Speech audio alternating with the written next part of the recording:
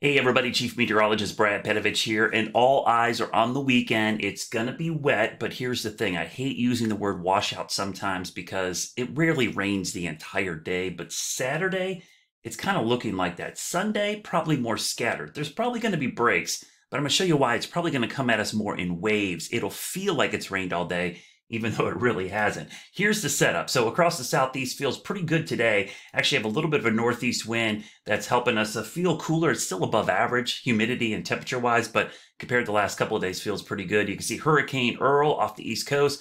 Thank goodness that's going to stay away from us, but you can see the player for the weekend. There it is down to our south. There, what's going on here is we've got two things going on. We've got an upper low or mid-level low here, a surface low over Florida that's going to start spreading moisture north really tomorrow, but then into Saturday and Sunday. At the same time, to the north, we've got high pressure over New England. Now, what that does, the clockwise flow around that provides a northeast wind. You throw in the combination of these two, it allows for air to be lifted over the Carolinas and really squeeze out all of this tropical moisture, which will be heading our way. In fact, there's going to be a whole bunch of tropical moisture heading our way. This is that precipitable water we talk about often. You could see as we go through time this weekend, those kind of pink and salmon shades start moving north. That's precipitable water that's two to three inches. And if we go into Saturday, you could see all of that moisture moving into the Carolinas. I mean, that is saturated. That's Saturday night into Sunday morning. We go into Sunday afternoon. This is right around game time for the Panthers.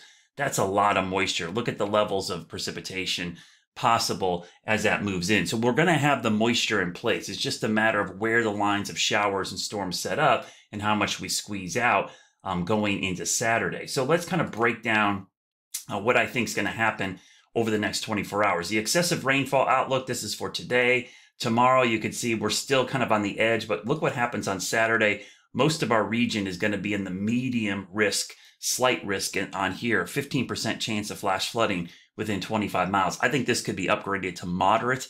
And even on Sunday, I do think we'll see this again. So two days of potential flash flooding here in the Carolinas. Now, the satellite image kind of shows that upper low over Louisiana right now. You can see it's like a big cog or a gear. Now, when this gear forms in the atmosphere, it basically starts pushing moisture north and east. The problem is there's nothing to kick this thing out of here because we've got some blocking going on, which is going to allow this to kind of meander and just drift to the north over the weekend into early next week. So that's why we're going to have such a wet pattern for not only just Saturday, Sunday, but maybe even into Monday and Tuesday until all of this mess kind of moves out of the region. So let's start breaking down some of the future casts here on what's going to happen over the next, uh, you know, three or four days and kind of pinpoint when the worst will happen and maybe when there might be some breaks over the weekend.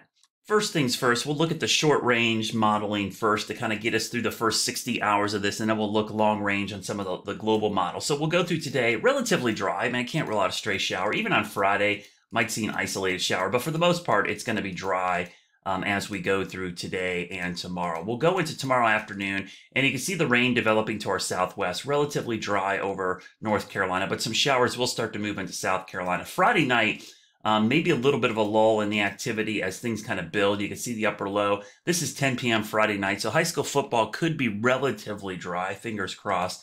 But as we go into early Saturday morning, this is 3 o'clock in the morning, you can see this band. And this band is going to be key. Where does this band of really heavy rain? It's a line of showers and some embedded thunderstorms moving northwest um, into the Carolinas. Now, there's going to be embedded thunder in here, but there's not going to be a ton of lightning or thunderstorms per se because of the extensive cloud cover and rainfall, it's likely going to be more just rain, but there could be lightning strikes in there because there's enough lift. So I don't want to rule out lightning completely, but don't think of the big lightning storms we get in the, in the uh, summertime. This is more just a couple rumbles of thunder here and there, enough that it could cause some delays. So this is early on, on Saturday morning, obviously going to be raining. Um, we go into the afternoon. You can see the rain is on and off. Sure, there's some breaks here and there, but there's waves of rain, heavier rain in the mountains, some near the coast. We go into the afternoon um, at two o'clock. This is where the short range guidance stops. So you see that it may not be raining the entire time, but what's more likely is there'll be pockets of heavy rain, and then in between there's probably drizzle, mist, and clouds. So that's what I mean. It probably won't rain the whole time, but it might feel like it just because it's so gray, gloomy, and damp the entire time. So this is through two o'clock Saturday. Let's go further into the future. We got to look at some longer range guidance here. All right, because we're looking further into the future, we've got to use a, a, a less resolute model here, so lower resolution, and the, you'll see the times jump every three hours, so we don't get hour-to-hour data. But just to give you an idea, we'll go through today, uh, we'll go into tomorrow. Um, very similar, you see the bands of rain setting up. We'll go into Saturday, um, Saturday morning, you know, pretty consistent. Uh, most of the guidance shows a band of rain over us, but it's kind of scattered at times um, into the afternoon, some heavy rain. We'll go into this is Saturday night. So Saturday night to me looks to be the heaviest. So that's when I think the combination of all the moisture and lift come together. You see the heavy rain over us. So Saturday night, we go into Sunday morning, two o'clock in the morning, heavy rain over us. You wake up Sunday morning, it's game day. Panthers, you know, are playing. Here's why Sunday probably not as bad. There's there's definitely rain. Don't get me wrong. It's going to rain. It's just a matter of it's going to rain the whole time or be broken up. And I think it's going to be broken up in waves. So you can see we have some bands of showers um, and, you know, coarsely, maybe some here, maybe a lull, then some more here, some more here, there.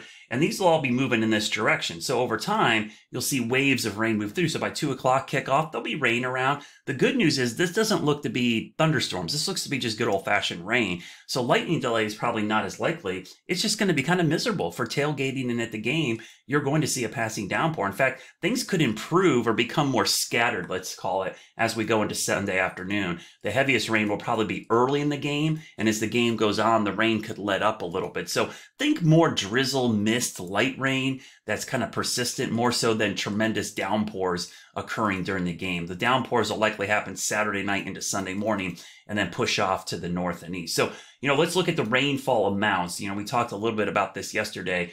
Um, as we go through time, we'll go into Saturday. You can see the rain coming up. I'm going to stop this on Monday morning right around uh, you know seven o'clock in the morning. The totals over the area are generally one to three inches, but there could be localized heavier amounts. And I fully expect at some point we're going to see a flash flood watch issued for parts of the area, probably as soon as tomorrow, maybe even later tonight. Of course, I will continue to post updates. The thing I would tell you for advice for the weekend plan for rain and hope it's more scattered, but don't think it's going to be a complete washout the entire time, just that it's going to rain at some point. The longer you spend outside, the higher the chances you're going to get wet at some point over the weekend, both Saturday and Sunday.